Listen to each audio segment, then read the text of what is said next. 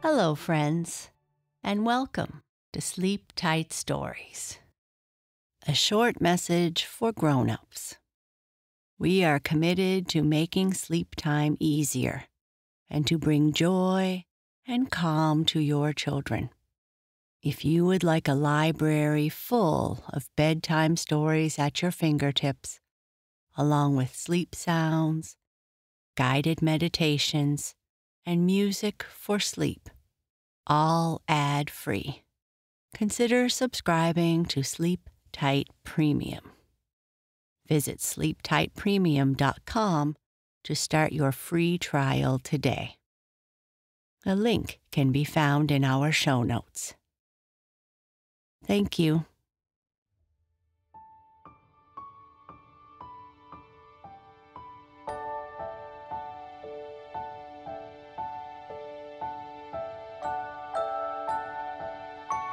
This episode is all about gnomes. When I was little, there was a great movie called The Gnome Mobile.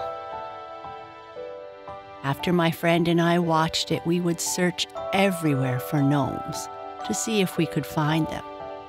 In the ditches, in the fields, but we never had any luck. I hope you enjoy this story.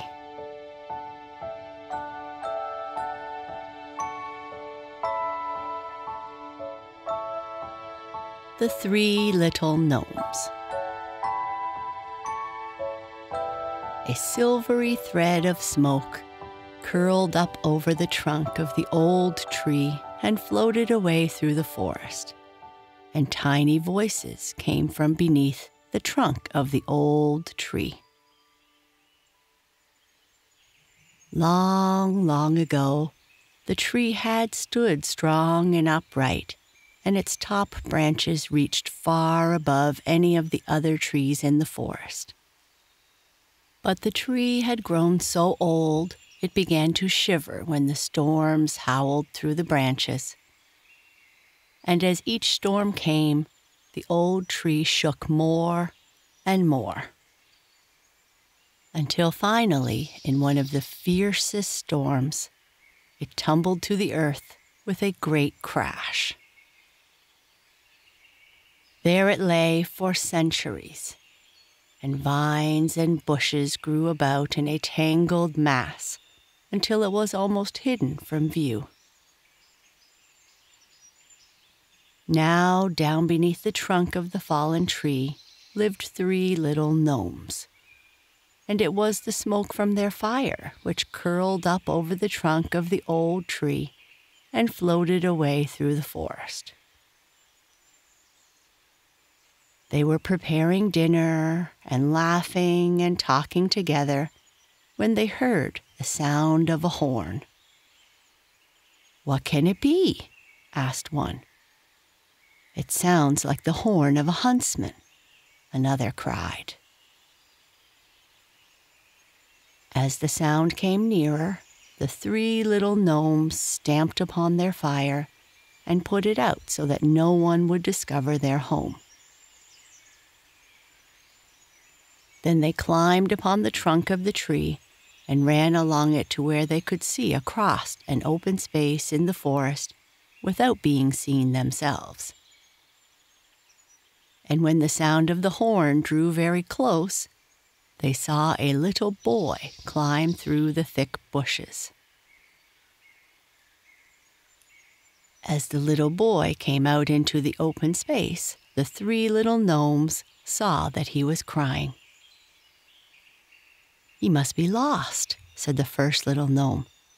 He looks very tired and hungry, said the second little gnome. Let us go and ask him, said the third little gnome. So the three little gnomes scrambled down from the trunk of the fallen tree and went up to where the little boy had thrown himself upon the ground. They stood about him and watched him where he had put his face in the crook of his arm and was crying. Finally, one of the little gnomes sat down in front of the little boy and spoke to him. I am lost, the little boy said. My father went out yesterday with all his men, and when they were out of sight, I took my little horn and followed them. But I soon lost their track, and I have wandered about with nothing to eat. Last night I climbed into a tree and slept. The three little gnomes wiped the little boy's eyes and led him to their home under the fallen tree. There, they finished preparing the dinner and sat about until the little boy had eaten and had fallen asleep. Then the three little gnomes carried him into their house, away back in the trunk of the tree, and placed him upon one of their little beds. When the three little gnomes had finished their dinner, they lit their pipes and wondered how they might help the little boy find his way home. Let us go to Old Wise Owl and see if he can suggest anything, said one. Yes, brothers, cried another, let us go to Old Wise Owl. So the three little gnomes went to the home of Wise Owl, and Wise Owl said he would fly high above the forest and try and see the little boy's home. I cannot see his home, cried Wise Owl. Maybe Fuzzy Fox can tell you.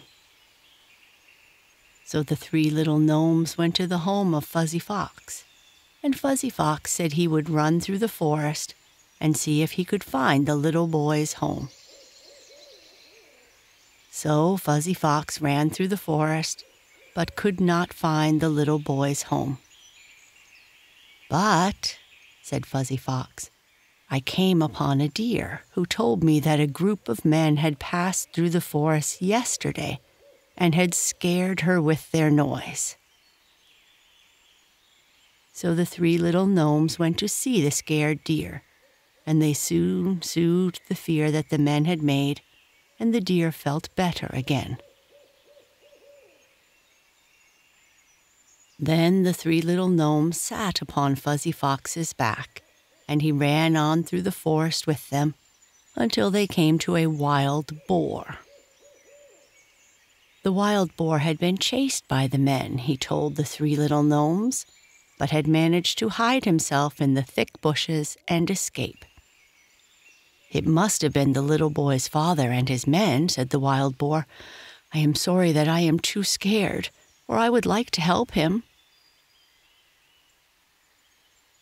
Then Fuzzy Fox ran with the three little gnomes through the forest, and they met a bear, and a squirrel, and five or six bunny rabbits. And they all told the three little gnomes that the men had gone after them and that they had managed to escape. The three little gnomes felt very sorry for their frightened friends and helped them all they could by calming their minds. We are sorry that we cannot go with you and help find the little boy's home, they all said, or his mother will miss him and cry for him. And we know how much a mommy or a daddy can miss a little boy or girl.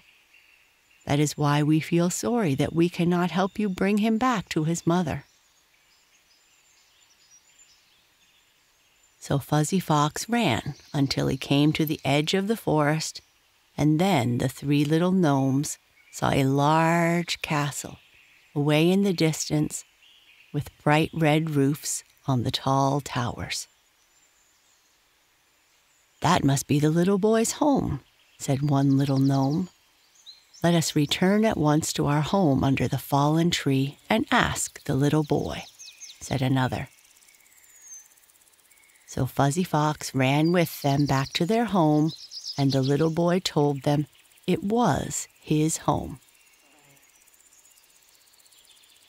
Then the kind Fuzzy Fox took the three little gnomes and the little boy upon his back and ran to the edge of the forest. And on the way they stopped to see the animals. And they were all glad that the little boy's mummy and daddy would soon see him.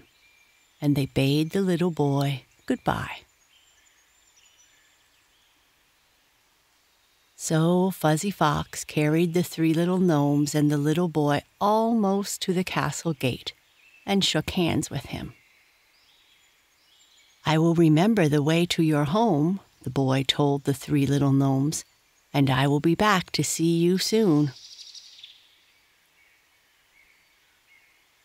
The next day, when the three little gnomes were preparing dinner, they again heard the little boy's horn and ran along the trunk of the tree until they came to where they could see across the open space. Soon there came a great many people, and riding upon a fine horse in front of his daddy was the little boy. But this day he wore fine silk and satin clothes, and they were not torn by the brambles and bushes. Near him rode a beautiful lady. She was the little boy's mommy. So the three little gnomes went out to meet them, and the little boy slid from the horse and ran to them and threw his arms around them. This is my daddy, and this is my mommy, he told them. The little boy's mommy and the little boy's daddy dismounted and came to the three little gnomes and thanked them for returning the little boy to them. We will give you anything you wish for, said the little boy's mommy and daddy. We wish for nothing, said the three little gnomes. We live happily here in the forest, and our wants are simple. But if you could stop scaring and chasing our forest friends, we would be very grateful. I told Daddy of the frightened creatures, said the little boy. Yes, his daddy said, and I have given orders that no one in my country shall hunt through this forest. And from now on, your forest friends will be safe and can always live here in peace and happiness. For the great king was sorry that he or his men had ever caused any of the forest creatures any harm. And after that, the creatures of the forest were never scared, and they grew up so tame that they would wander right up to the castle, where the king's men would feed them. The tiny thread of smoke still curls up over the trunk of the fallen tree, and the voices of the little boy and his daddy mingle with the tiny voices of the three little gnomes as they prepare their dinner. For the great king and the little prince come often to visit their friends, the three little gnomes.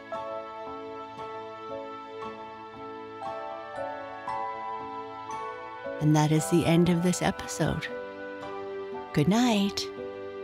Sleep tight.